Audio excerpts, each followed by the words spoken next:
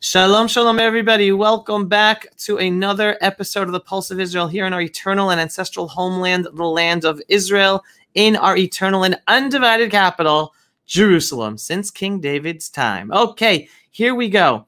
Today we are in for a special treat. We are speaking with Lyn Julius, who I'm going to introduce in, in just a moment. Lyn is the author of a book called Uprooted. Uh, about the 3,000 year history of the Jewish people and how it came to an end. Uh, and uh, this is in uh, conjunction with the 80th anniversary of Farhud Day.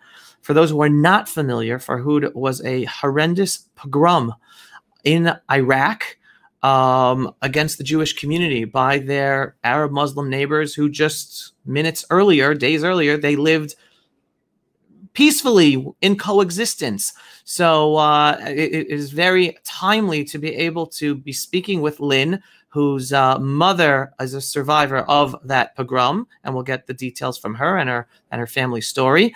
Um, because today, many Israelis, many Jews around the world woke up and saw, saw the pogroms we were experiencing here in Israel, not masses of people being killed, but a lot of violence and lynchings and synagogues being destroyed by neighbors uh, against their uh, Arab Muslim neighbors here in Israel, Israeli citizens against their their um, Jewish neighbors, not understanding what's going on. Where, where does this come from? It makes no sense according to our understanding of reality, coexistence, etc. So we're going to be speaking to Lyn and hearing more about the historical context to maybe get a better understanding of what how we should be viewing things today.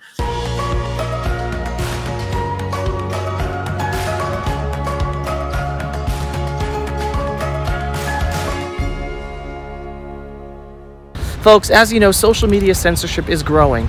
The best way to support our video work for Israel is to subscribe to our video newsletter on pulseofisrael.com and to share our videos. If you are already a subscriber, then thank you. Two additional ways to connect with and support Israel, they are so simple.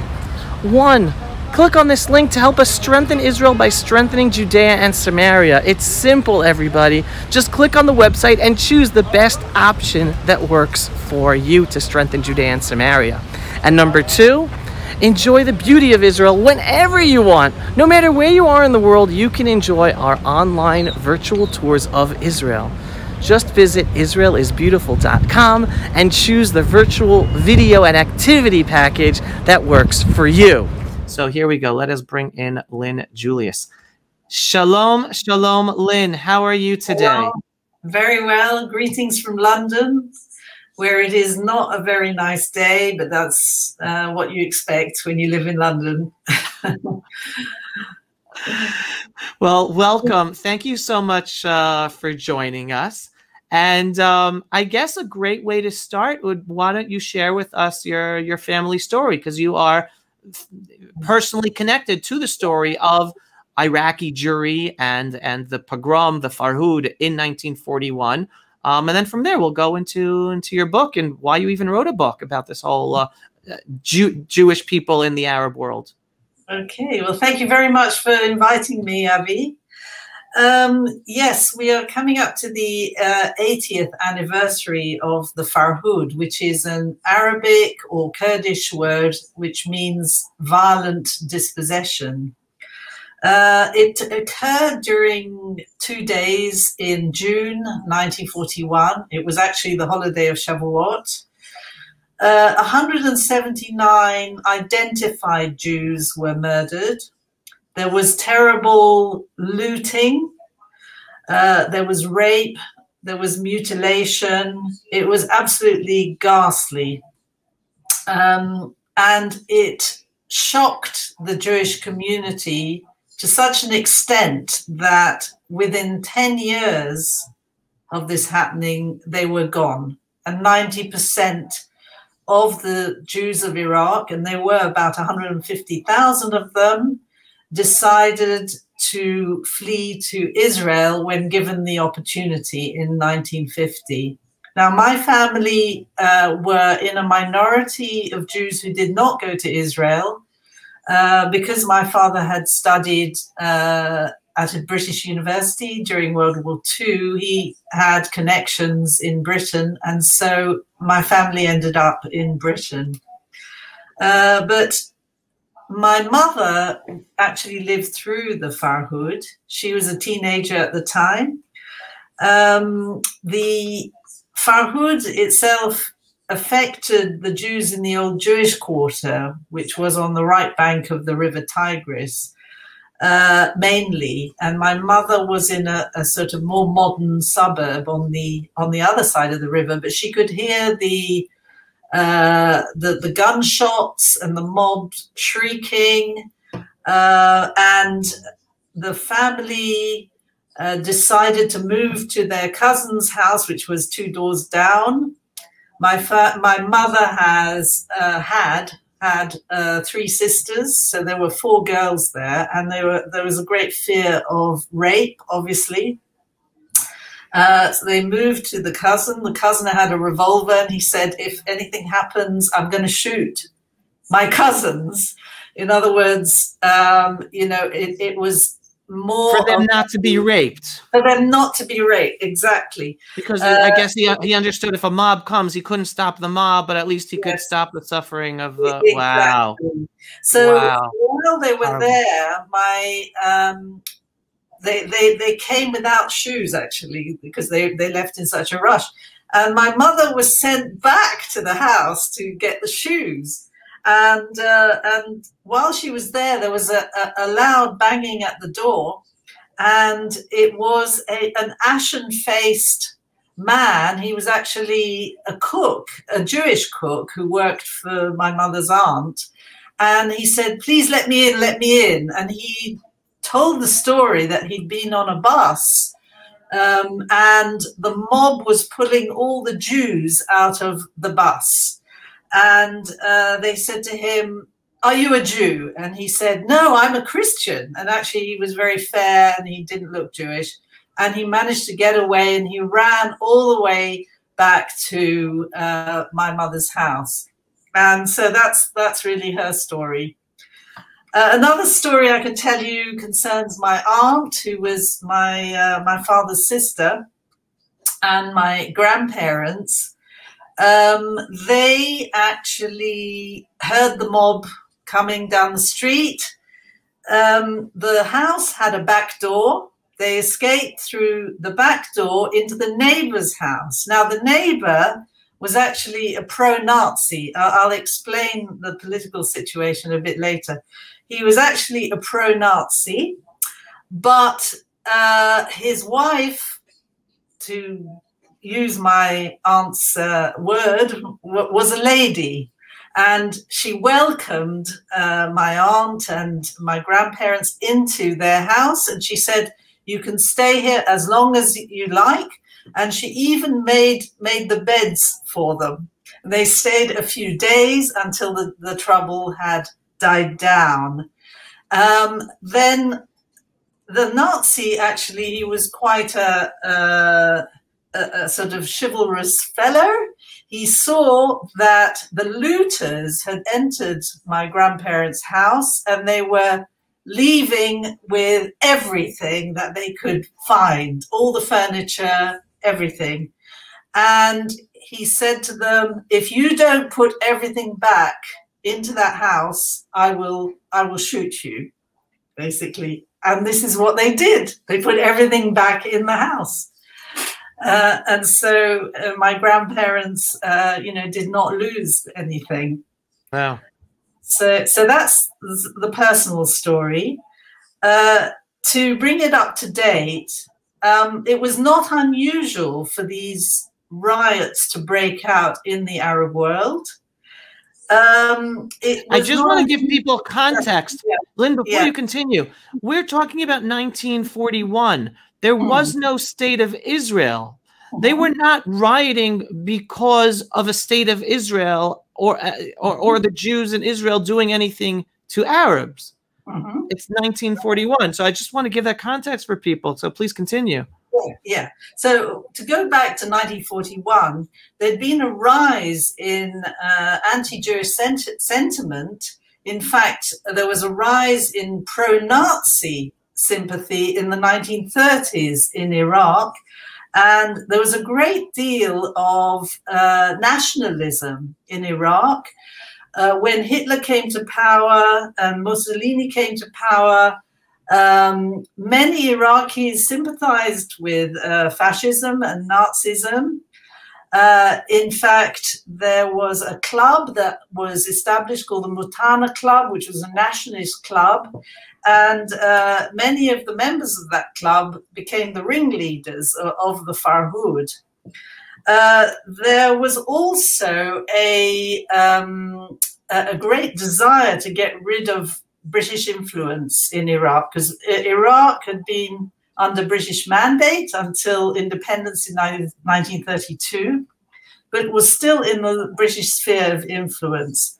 Uh, the Jews were identified with the British. They were identified as collaborators with the British. And what mm. happened was after the Arab revolt in Palestine, um, in 1939, the Mufti of Jerusalem actually arrived in Baghdad and he had an entourage of 400 Syrians and Palestinians with him. And he immediately set about inciting violence against the local Jews. And at the same time, he tried to overthrow the pro British government in Iraq. And finally, he and a group of uh, pro Nazi uh, military officers um, and, and nationalist politicians, there was uh, a man called Rashid Ali. Who uh, headed this group? They finally overthrew the pro British government in April 1941 they declared war against the British. The British, British fearing for their oil uh, in Iraq, uh, immediately invaded Iraq. They fought the Iraqis in what was called the 30 Days War. They defeated the pro Nazi government and put the Mufti and his acolytes to flight. But the stage had already been set through incitement uh, through propaganda, through uh, Nazi propaganda, uh, for a terrible massacre, which is exactly what occurred on the 1st and 2nd of June 1941. So that's really the background. Um, how can we compare it to events today? Well, uh, as I was saying, it was not unusual for riots to break out in the Arab world.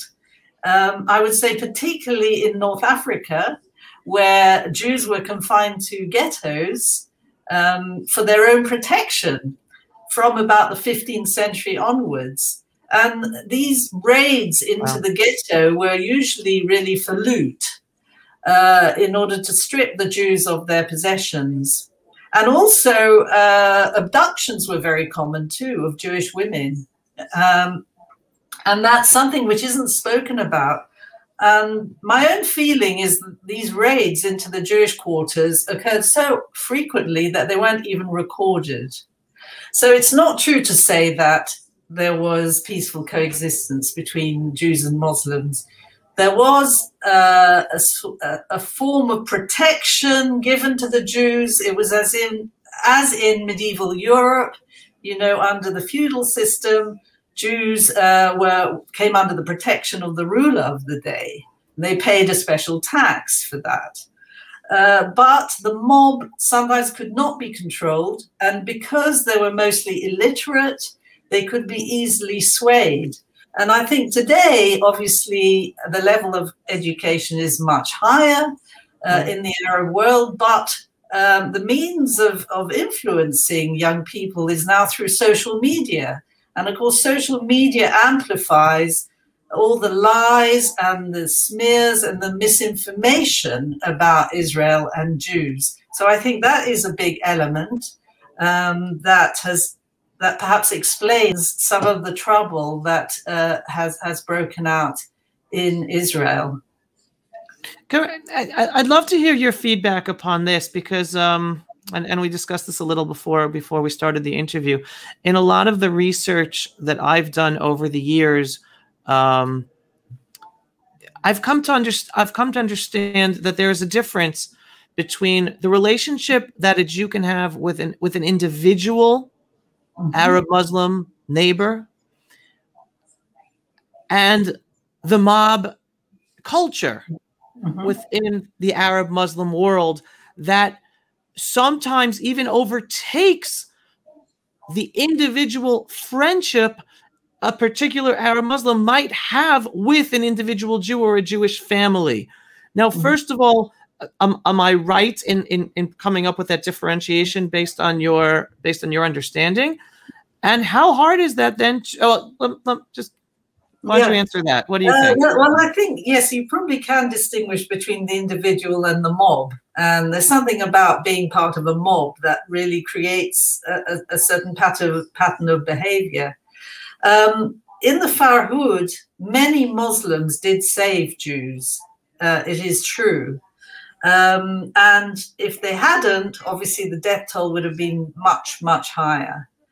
Uh, but it's also true uh, that familiarity did not necessarily breed um, sympathy. So Jews found themselves attacked by neighbors. They found themselves attacked by the local butcher or the local policeman, even, because some of the police sided uh, with the rioters. Um, so you're right that uh, a Muslim, there is a kind of code of honor in a way when when uh, you know certain Muslims felt that they had to protect uh, their Jewish neighbors, and they did, but others did not. So you had both sides. You had both sides. You had it in Hebron, where the death toll in 1929 would have been a lot higher had Muslims not protected Jews. Uh, on the other hand, you had uh, an incident near Jerusalem. I've forgotten the name of the uh, the place. Um, where uh, a doctor treated Arab patients, a Jewish doctor, um, and uh, they they turned against him and they killed him. You know, so it's it, it really was completely arbitrary what happened. I think it points to the fact that the Jews actually could not rely on the forces of law and order to protect them. And ultimately, uh, this is why um, most of the Jewish community of, of Iraq, in fact, in other countries as well, um, feared a second, a second Farhud um, when Israel was established and there was trouble, there was violence. And given the choice, they decided to leave. Yeah, it's just following what you were saying. I mean, the two stories, the dichotomy that I, I'm uh, I mentioned this earlier, a student of uh, also the the the the Arab Muslim massacre of the Jewish community of Hebron and the mm-hmm. and the massacres of 1929 ac- across the cities in the land of Israel. And there are two stories that stick out in my mind from a survivor.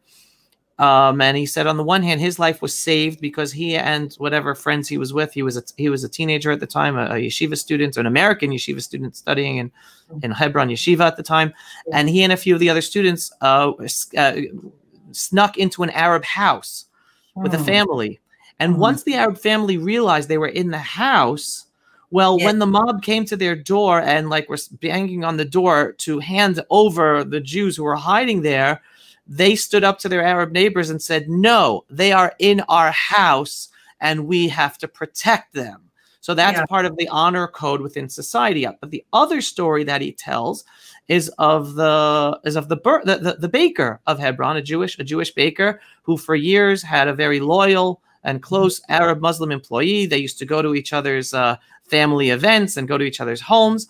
And yet, on the day of that massacre, that his own employee not only killed the boss, the Jewish baker, he severed his head and put his head in the oven, which I don't yeah. know like what other sign of internal hatred one can show, even though through the decades they were essentially so close.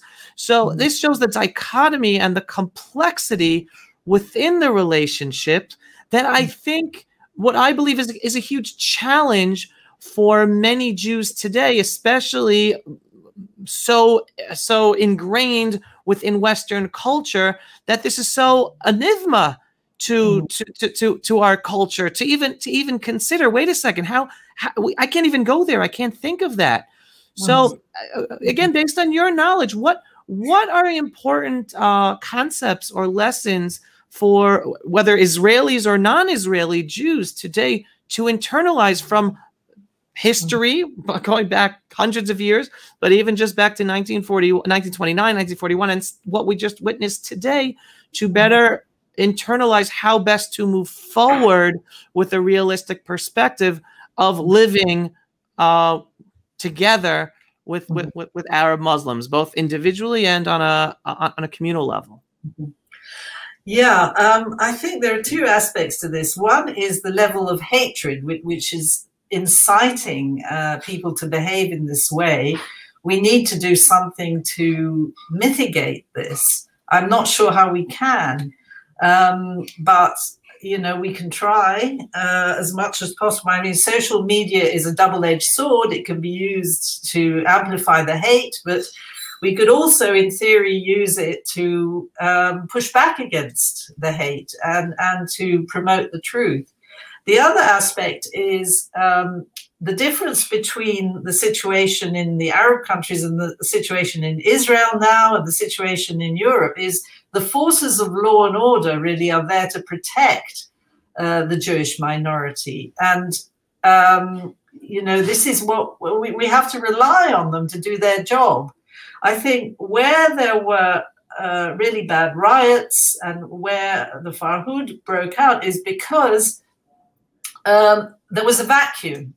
Um, you know, and, and the forces of law, law and order did not do their job. And in the Iraqi case, a lot of policemen joined the rioters.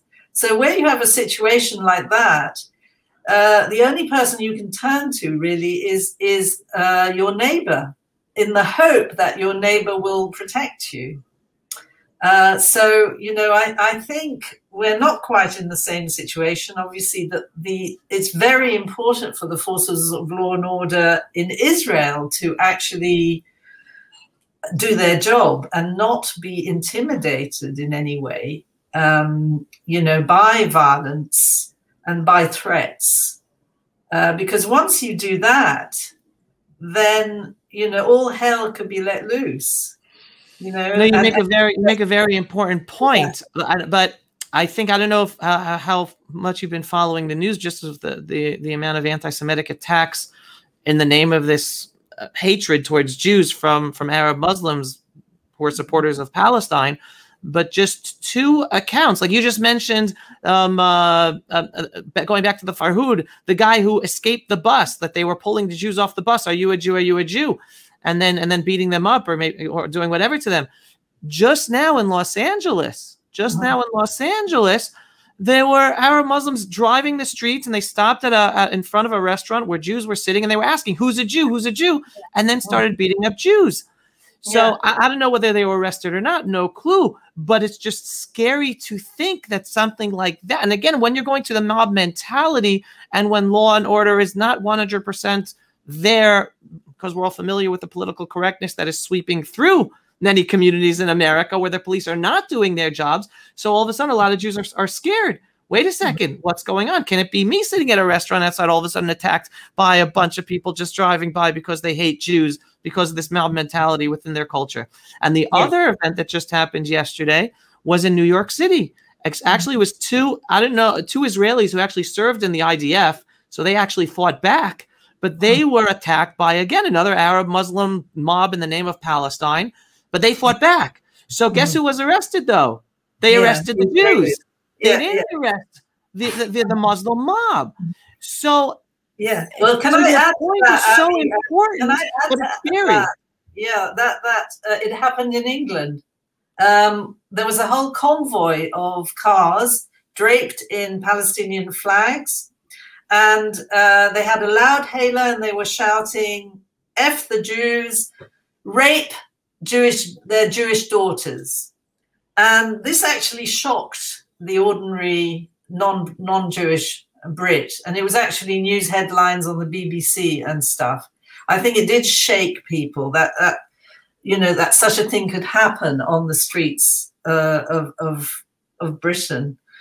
Um, so it's it's a kind of international phenomenon. This this sort of anti-Jewish incitement um, and, and I saw that clip of the restaurant in Los Angeles, and the, the man was actually wielding a, a he was he, he had a piece of furniture and he was going to to to sort of throw it at, at the, the Jew, wasn't he? Yeah. Yeah. So, I mean, this is very, very scary. Um, I think the police are sometimes intimidated. You know, we know of several incidents where, where it's an open and shut case, the Jew was attacked, and yet the police, it, didn't come to court, or, or the uh, attacker was was let off, um, or he wasn't he, he wasn't uh, arrested. Um, you know, and this this has happened in the past, and this is a very worrying situation because Jews will now feel that they're not properly protected. Right. Right. Yeah. No. So again, so your point about law and order is is so important, and it's such an important clarification, and yet it is a worry with with how we see things developing today. Like, is law and order in the different countries actually going to enforce law and order to stop it in time so innocent Jews are not are, are not affected. All right, so you know what I want to I want to then jump to uh, to your book.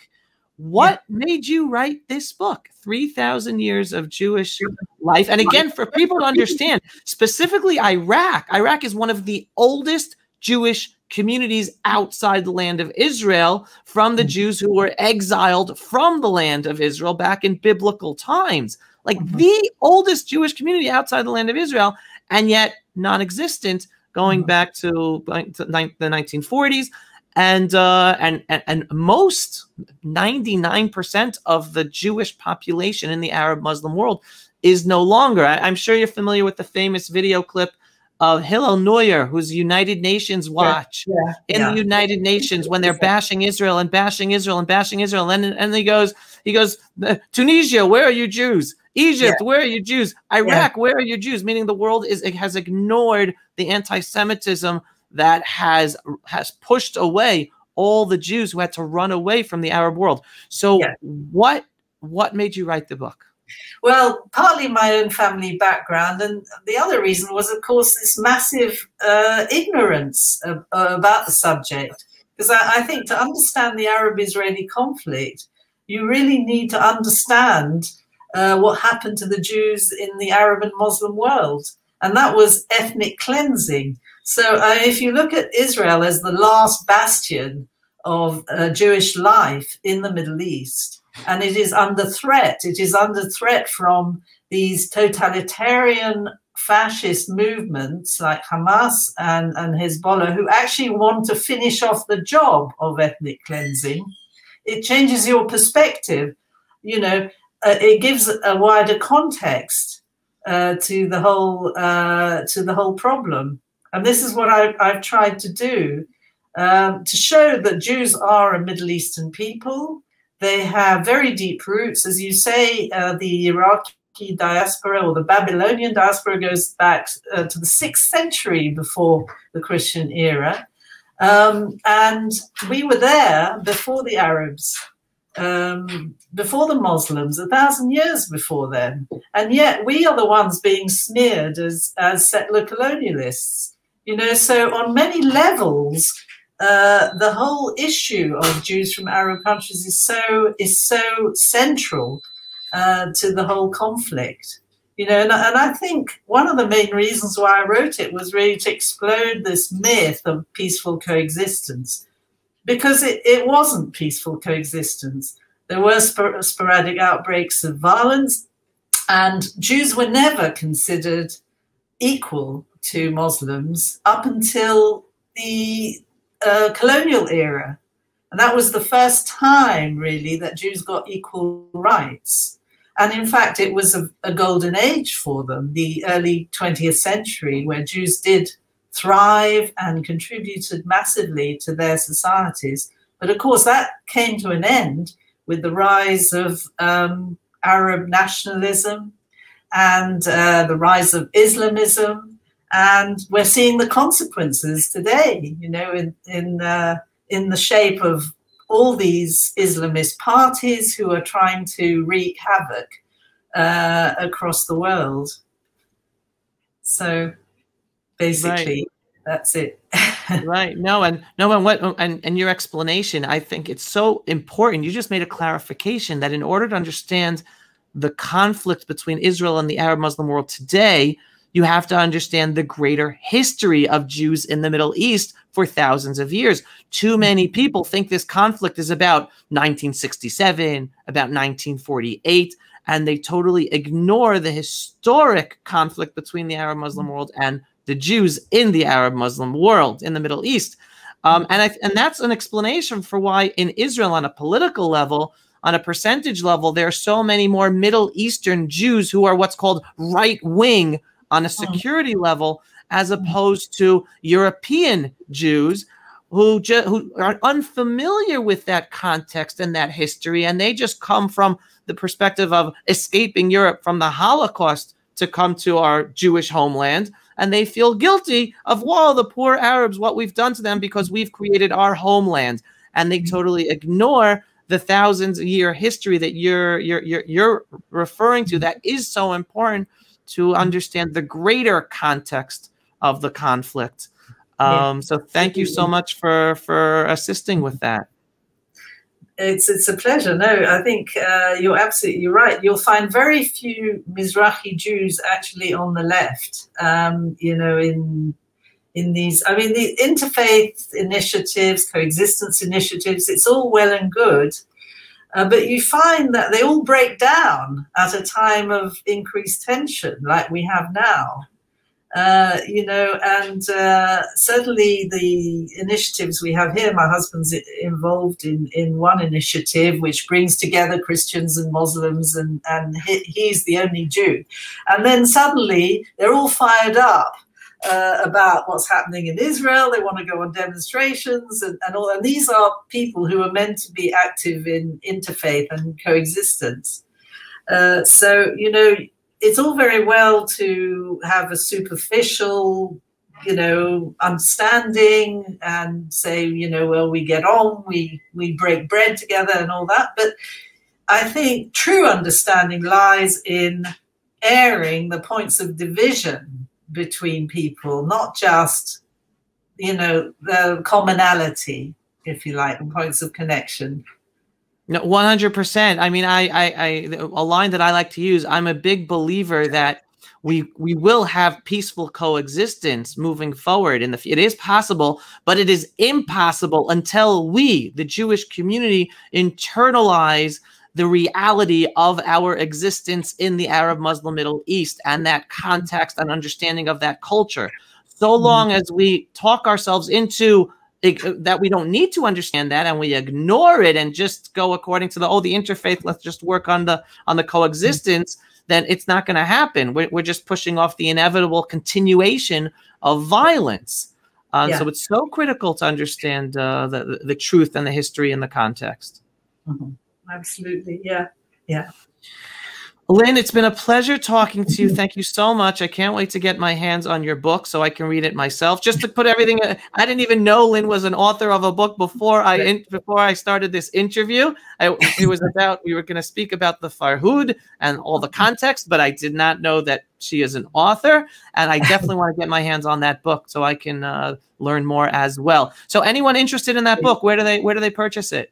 So it is on Amazon and uh, if you can be patient and wait till uh, we get to Israel in July, we will be bringing some uh, stock for um, the bookshop in Jerusalem. What's it called? Pomeranz. Pomeranz, exactly. Yeah, they they they actually sold their stock um, some time ago, so we will be restocking Pomeranz. Wonderful. So I I will wait. I'll I'll wait to be able to get a signed copy if you'd give me one and take a nice sure. selfie with you sure, in sure. Jerusalem. Wonderful. And then for everyone else in Jerusalem, it will be available in Pomeranz starting in January, July. You said July, July, in yes, July. Yes, okay, wonderful. Okay. Uh, so Lyn, thank you so much. Stay safe, stay healthy with your family, and looking forward to seeing you in Jerusalem. Thank you very much, Avi. It's a pleasure. Thank you.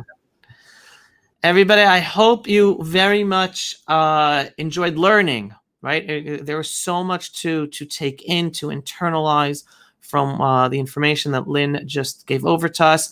And again, it's not just about learning history; it's in order to understand the correct context of what is happening today. It's all nice and well for everyone who wants peace and just wants peace and for us to live peacefully together Peace can only be possible if we understand correctly the context and the region that we live in. And those are pieces of the puzzle that Lyn has dedicated much of her life to helping all of us internalize. And it is so, so critical. So uh, please share this video for everyone to be able to watch and learn and be enriched so that we can move forward to a better future. Not a better future um, uh, ignoring reality and the context, but a better future based on understanding and internalizing reality and our context. So, signing off for another episode of the Pulse of Israel here in our eternal and undivided capital, Jerusalem. Thanks for watching. And if you are not yet a subscriber for the Pulse of Israel, please go visit our website, pulseofisrael.com, and subscribe to our newsletter so you will not miss any of our videos or interviews to help you get a better understanding and context that unfortunately is usually ignored by most of the media, including Jewish Israeli media today. Shalom, everyone. Thanks for watching. Pulse of Israel, frontline videos from the Holy Land. Support our work by donating today.